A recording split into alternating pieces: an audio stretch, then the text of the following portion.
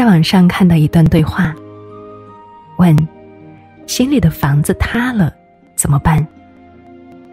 答：重建。问：可是很疼呀。答：哭着重建。这段话适合每一个内心无数次崩塌的成年人，一边崩溃，一边自愈，不断的重建内心，生活才能继续下去。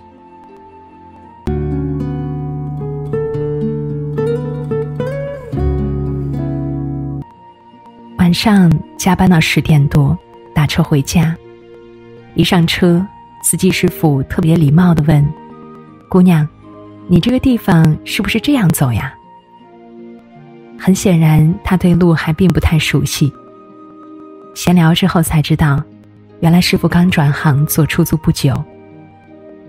他之前在一个大的旅行社工作了六年，做到了中高层管理，积累了多年的人脉。有了自己的客户，他就想自己独立门户。去年，他果断辞职。准备好了门店，摩拳擦掌，准备过完年之后大干一场。万万没想到的来势汹汹的疫情，打破了一切计划。新公司还没有开业就倒闭了，他也失业了。找了几个月的工作无果，他就开始干起了出租。问他心里落差大吗？他说。落差肯定是有的，赶上了，也没办法呀。问他转行适应吗？他说：“有什么适应不适应的呢？现在不是咱们挑工作，是工作挑咱。”问他干出租累吗？他说：“累不累都得干，家里还有房贷车贷，还有两个孩子上小学呢。”是呀，就像司机师傅说的一样，成年人的世界，没有一种人生是容易的。很多变故猝不及防，它来了你改变不了，就只能接受它，妥善找到新的出路。很多选择，即使别无选择，你只有脚踏实地的做好眼前的事，才能有其他的选择的可能。很多事情很累，但你无路可退。你只有不怕累，不后退，才能在艰难的日子里好好的过下去。最近身边的越来越多人都在感叹：二零二零年太难了。创业的感叹越来越难拉到投资。上班的感叹失业离职变动多了。工资奖金少了，对大多数人来说，总结起来无非就是二零二零年挣钱太难了。赚钱难，但依旧有太多要花钱的地方。蜗居里曾经有一组数据，精确的计算了一个家庭的开支。每天一睁开眼，就有一串数字涌进脑海：房贷六千元。吃穿用住两千五百元，冉冉上幼儿园一千五百元，人情来往六百元，交通费五百八十元，物业管理费三百四十元，手机电话费两百五十元，还有煤气费两百元。也就是说，从我醒来呼吸第一口气开始，我每天要至少进账四百。这就是我活在这个城市的成本。看到这一组数据，你有没有计算你的家庭开支、你个人开支的勇气呢？突然想起了网上的一句很扎心的话：“世人慌慌张张，不过是为了碎银几两。可偏偏是这碎银几两，压断了世人肩膀。”深夜的街头，无论凌晨几点，都有人还在工作。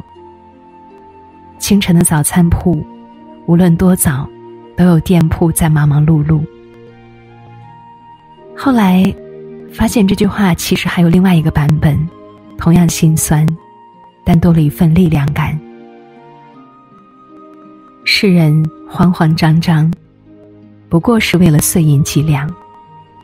偏偏这碎银几两，能解世间万种慌张。保老人晚年安康，稚子入得学堂。你我，柴米油盐五谷粮。前几天看朋友圈，无意中发现一个从来不发朋友圈的朋友，疯狂的刷起屏来，而且大部分都是服装的图片和店铺推荐。我私聊他，问他是不是被盗号了，他秒回说。不好意思呀，忘记屏蔽你了，有没有打扰到你啊？随后又解释说自己转行做微商了。我问他之前的工作，他说被公司辞退了，然后找了两个多月的工作，简历都石沉大海了。所以先做做微商过渡一下。看到朋友这般韧劲儿，突然想起曾经一个读者的故事。两年前。我因为带着孩子不能上班，一直清高骄傲的我，放下面子，一头扎进了微商大军里。我没有几个微信好友，于是我不管别人怎么看我，提着水果上街，一户一户试吃加好友。有的大妈明明很反感推销，却看我不管严寒酷暑如此辛苦努力，而接受了试吃。觉得味道好，就马上找我下订单。如今，我已经月入五位数。今年的疫情，我的生意基本没有受到影响。如果要脸要尊严，那就得挨穷。我在三十二岁顿悟了，还好不晚。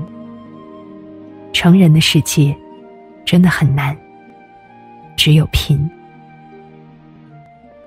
人。有时候是一瞬间撕裂般生长起来的，尤其是遇到难题的时候，当你抛下面子、抛下顾虑、一往无前的时候，你懂得了世界的残酷，也就懂得了强大的可贵。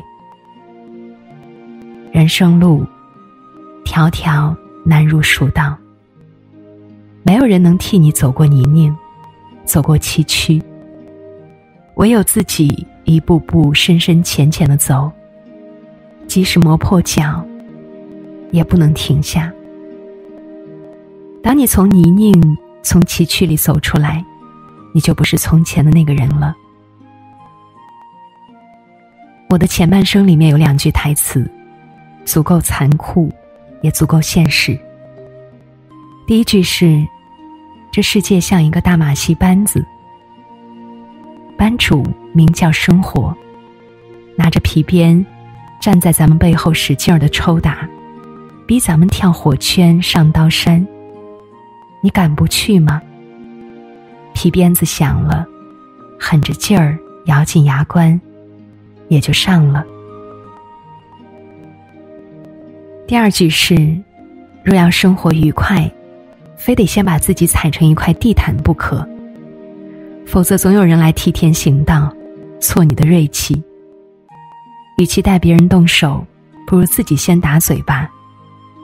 总之，将本身毁谤的一文不值，别人的气就平了，也就不妒忌了，我也就可以委曲求全了。尤其是在二零二零年，世界这个马戏班子出了问题，生活这个班主更是变本加厉，步步紧逼。责任加深的成年人，你能怎么办呢？唯有含着泪，狠着劲儿，咬紧牙关，关关难过，关关过。唯有把自己踩成地毯，丢掉玻璃心，控制好情绪，才能生活愉快。生活到最后，无非就是一个“熬”字。每天给自己一个坚持的理由，熬过去。没有什么过不去。感觉被所有人抛弃，生活这么拼命努力，是不是也算一种远离？这世上除了我，只有千万个你。远离那些让你波动情绪的事情。世上没有真的感同身受，面对其实只有一个人，一个人在夜里哭着，哭到头痛，直到睡着。没有人真的理解你啊，觉得去为你逢场作戏。我一直都会记得一句话，强大到无往不利。如果你也喜欢这篇文章，请点击订阅与分享，也可以在评论区留下你的看法。感谢您的收看，我们下期再见。